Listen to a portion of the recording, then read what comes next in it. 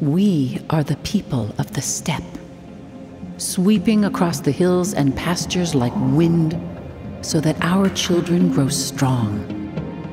For one may be born a hero, who, hardened by the eastern winter, will blossom during a western spring. In summer, followed by an army of united clans, they will water their horses on the banks of the Danube. Down the Silk Road, gold and glory will flow from the west, back to the land of the horse lords.